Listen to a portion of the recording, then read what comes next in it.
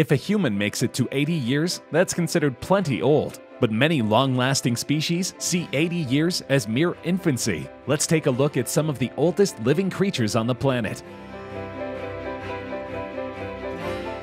What better way to kick off a list of incredibly old creatures with a species that might literally be immortal? The Turritopsis dohrnii, unofficially known as the immortal jellyfish, is without question the most unique creature on the planet. That's because, as far as we know, it's the only one who can survive indefinitely, if not forever. It does this by following the advice many of us get as we grow older.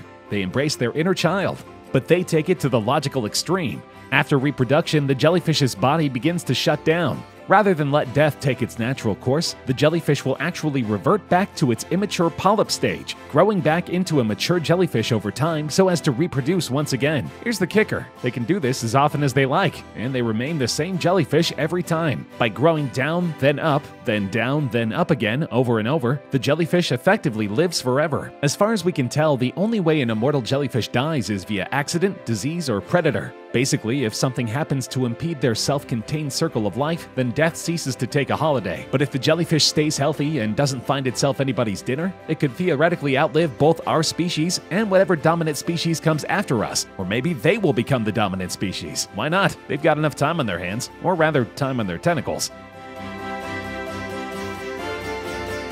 Prehistoric worms must have been made of far hardier stuff than the worms of today. How else to explain a couple of worms who, after 42,000 years of frozen stasis, sprung back to life like it was their plan all along? It happened in July 2018 a group of Russian scientists teamed up with Princeton University to analyze some 300 nematode roundworms that had been buried in Siberian permafrost since the Stone Age. The scientists thawed the worms out, expecting little to happen beyond, well, science. Instead, they got a borderline miracle. Two of the worms, after being thawed out, began to move. What's more, they started eating. They were well and truly alive after all these millennia. The worms, both female, quickly got carbon dated to ensure these weren't regular worms who had fallen in the snow a week ago. Sure enough, one worm, whom we'll call Elsa, is around 32,000 years old, while the other, whom we'll call Anna, is just under 42,000 years old. That makes them by far the oldest living multicellular creatures on Earth. Roundworms typically only live around four months, so it's not likely Elsa and Anna are still with us. Unless, of course, the scientists were forward thinking enough to refreeze them so they could be rethawed and reanalyzed 50,000 years from now.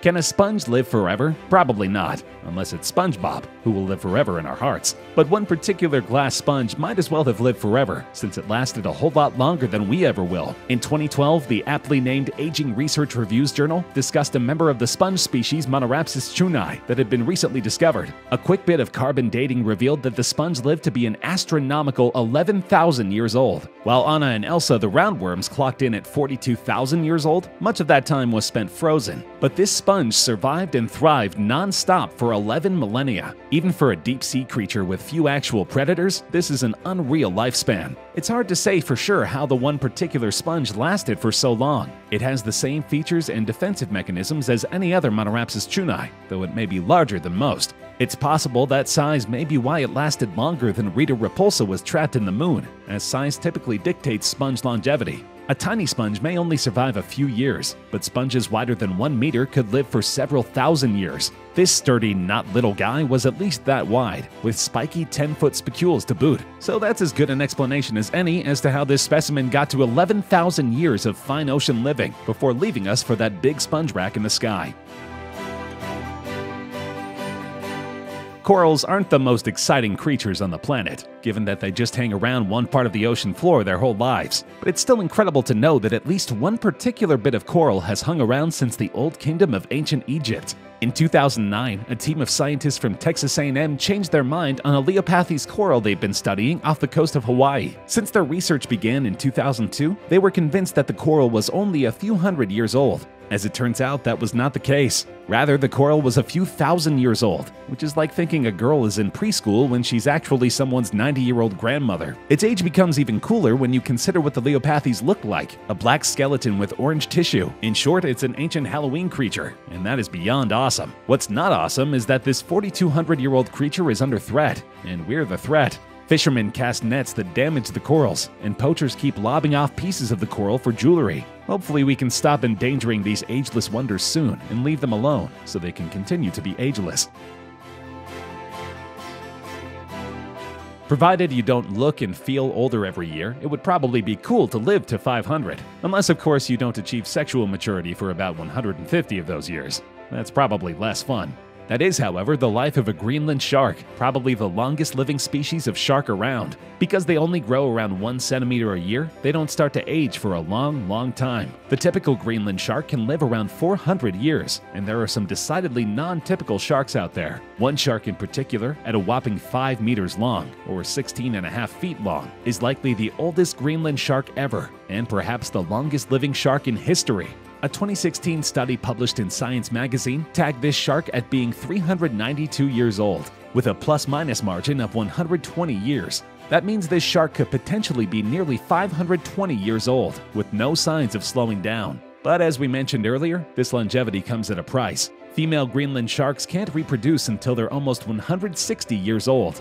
So until then, they're just swimming around and eating, waiting for the time they grow old enough to make babies. So how did we figure out how old these sharks are? Through the powers of nuclear radiation. Basically, they discovered several dead sharks contained high amounts of carbon 14 due to radiation from 1950s nuclear bomb testing seeping into the water. The amount of carbon in the corpses, combined with their body lengths, told the scientists these sharks were born in the 1960s. They used that basic formula, carbon 14 amounts plus body length, to determine the approximate ages of many more Greenland sharks, including the one that's possibly 520 years old. Not too many good things come from nukes, but learning about these sharks is certainly one of them. Yes, a clam lived to be over 500 years old. It probably wouldn't have been tasty to eat. In Iceland in 2006, an ocean quahog clam was dredged up by some fishermen, and it quickly became apparent the clam had a ton of history behind it. Researchers got to counting the lines on the shell and determined the clam was 405 years old. Shortly thereafter, a better count of the lines revealed the truth. This clam made it to 507 years old. As befitting something so old, the media dubbed the clam Ming, after the ancient Ming dynasty that was an active thing when this clam was born. Others tend to call it Hafrun, which is Icelandic for the mystery of the ocean. True to the name, nobody knows how the clam lived for so long. It's not like it could exercise in that shell or anything. Adding to the mystery is that nearly 15 years later, we still don't know if Ming slash Hafrun was a male or female. Due to its age, nothing about its reproductive organs could be determined, aside from how they no longer worked. And so said organs are officially classified as spent, which you might recognize as the last thing you want anyone to call your reproductive organs. Giant tortoises rarely have troubles living a long time.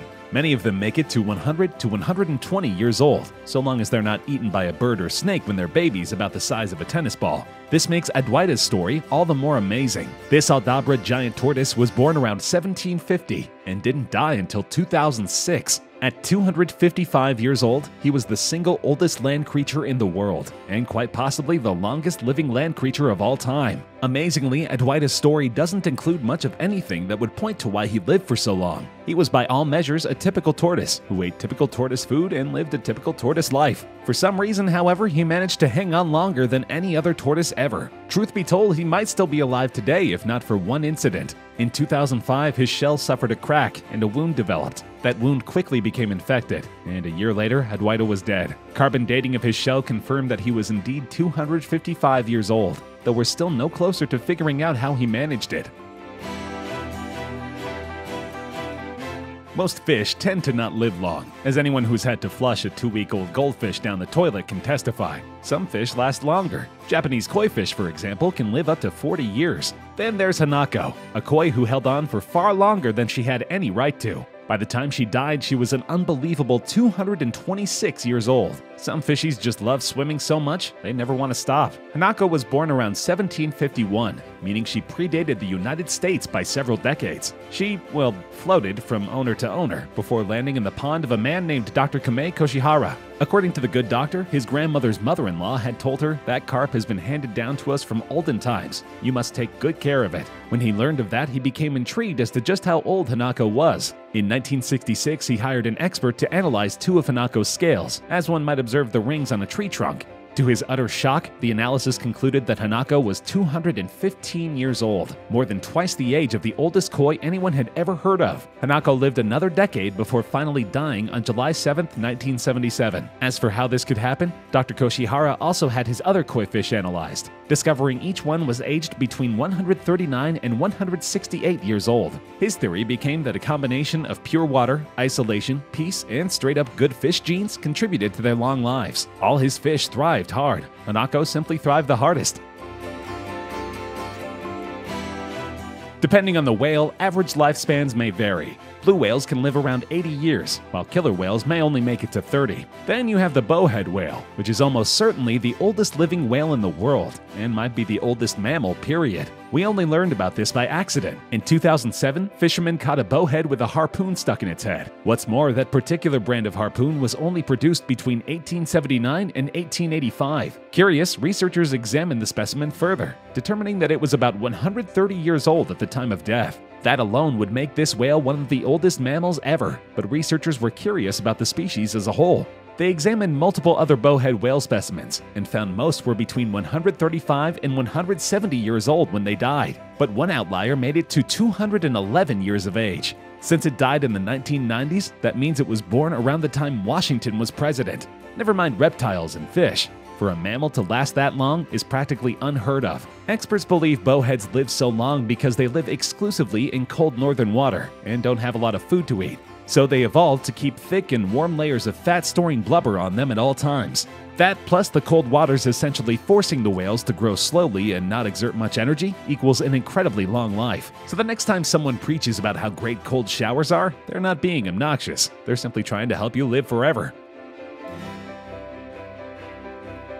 The tuatara is a rare species of New Zealand lizard that typically lives to around 60 years of age. That is, except for one sturdy tuatara, who is setting new standards both for the age of his species and for its virality. A tuatara named Henry has somehow doubled his life expectancy, still kicking it at age 120. That he has lived so long is extra amazing considering he had cancer. Yes, in 2008, his handlers discovered a malignant tumor around his genitals. After they removed it, Henry was so happy he decided to have children. At age 111, Henry was never the fathering kind, and not just due to his age. See, up until 2008, Henry had been aggressive and angry. He even bit off the tail of a female named Mildred whom his keepers wanted him to mate with. But with the cancer gone, Henry was a whole new lizard, and he and Mildred made up and made 11 babies. Henry is still alive, still healthy, and judging by how he currently lives with at least three lady tuataras, still randy. He's our hero.